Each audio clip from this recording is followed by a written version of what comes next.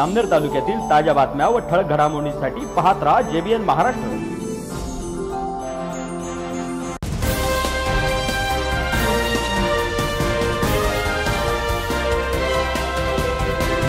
नमस्कार मी मिनल चौधरी. पाहूया काही ठळक वृत्त. बहीण मुक्ताबाईस बंधू ज्ञानेश्वर महाराज श्री क्षेत्र आपेगाव संस्थान यांच्याकडील साडी चोळी भाऊबीजेच्या पर्वावर अभिषेक पूजनाने संत मुक्ताबाईस परिधान करण्यात आली आहे.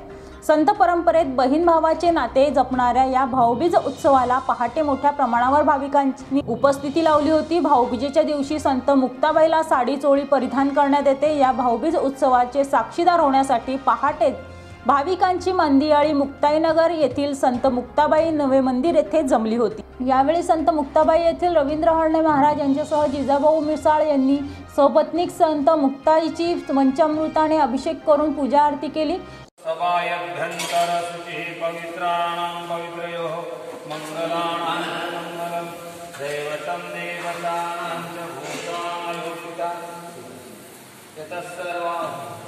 तदेव लग्नं सुदिनं तदेव ताराबलं चन्द्रबलं तदेव।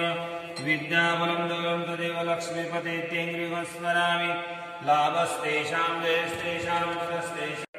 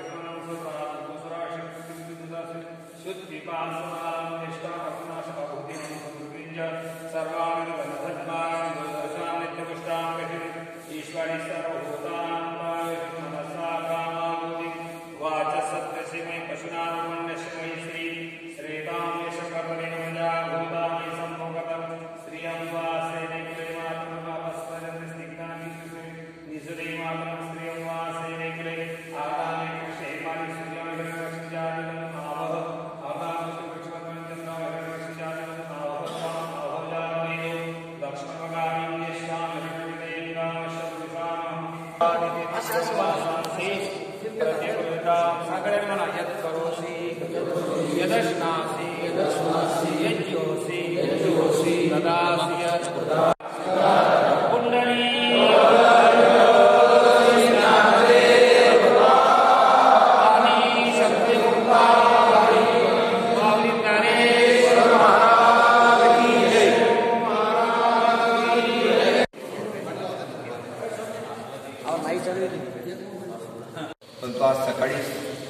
आपेगाव येथून ज्ञानदादा साडी घेऊन ज्ञानेश्वर मौर्य या ठिकाणी आले.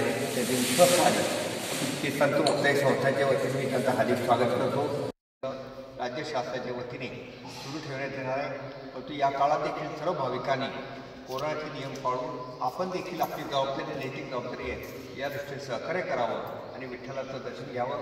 दिवाळी हा सण नुकताच साजरा झाला. दिवाळी सण म्हटला म्हणजे आनंद उत्सव शेतकऱ्यांचा आनंद असतो. या निमित्त देखील आपल्या सर्वांना मी हार्दिक शुभेच्छा देतो. सर्वांचे मी आभार मानतो. ज्ञानराज माऊलींच्या आदिशक्ती मुक्ताबाई मातांच्या जन्मभूमीहून भाऊबीजच्या निमित्तानं ही परंपरा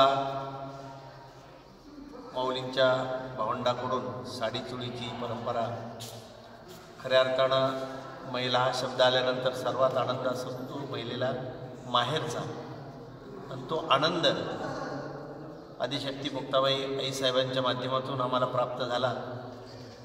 बायासाहेब काल आल्यापासून आम्ही एक वेगळंच जीवन अनुभवतो. फक्त आजच्या दिवशीचा आनंद नाही आजपासून आम्ही पुढच्या दिवाळीपर्यंत हीच आठवण काढतो. कधी दिवाळी कधी भाऊबीजी आणि कधी आईसाहेबांना भेटायला येऊ. म्हणजे प्रत्येक दिवस आमचा हा आईसाहेबांना भेटण्याच्या आतुरतेने आणि ओढीनेच दिवस जात असतो. आणि म्हणून ही परंपरा फार महत्त्वाची परंपरा आहे. आज सोशल मीडियात कालपासून आपण भाऊबीजेच्या निमित्तानं पाहतो. प्रत्येकानं माऊलींचा आणि मुक्ताबाईंचा फोटो टाकून की भाऊबीज साजरी करतात. पण ती प्रत्यक्षात साजरी करणं हे भाग्य आम्हाला लाभलं. गुरुवरे विष्णू महाराज कोल्हापूरकर गुरुजी यांच्या आशीर्वादातून हे आम्हाला भाग्य प्राप्त झालं. आहे खरंच आनंदाचा सोहळा आहे. बायासाहेबांचं मी अभिनंदन करतो की आत्ताच त्यांनी बोलले की कार्तिक वारी शासनाच्या वतीनं परवानगी मिळाली. आणि संपूर्ण वारकरी संप्रदायाच्या वतीनं आमच्या संस्थांच्या वतीनं या सरकारचं अभिनंदन करतो आम्ही.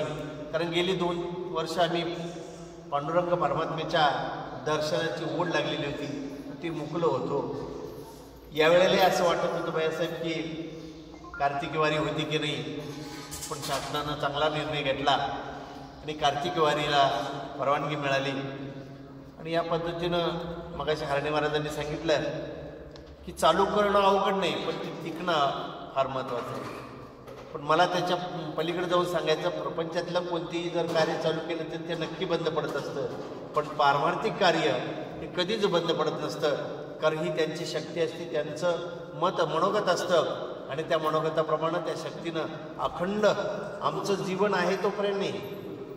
कारण माऊलींचं जीवनच असं आहे चंद्र सूर्य पृथ्वी असेपर्यंत. नवे नवे माऊली समाधीस्थ आहे तोपर्यंत चंद्र सूर्य पृथ्वी राहणार आहे. आणि चंद्र सूर्य पृथ्वी असेपर्यंत माऊलींच्या या जन्मभूमीहून असा सोहळा या मातेसाठी होत राहील यात शंका तीळ मात्र वाटते. या बातमीत इथेच थांबूया. ताज्या अपडेट्ससाठी W W W J B N Maharashtra dot com या आमच्या वेबसाईटला लॉग इन करा. तसेच यूट्यूबवरील आमचे व्हिडिओ पाहायला विसरू नका आणि Google play स्टोअरवरील J B N news app download करून J B N Maharashtra news channel live पहा. नमस्कार.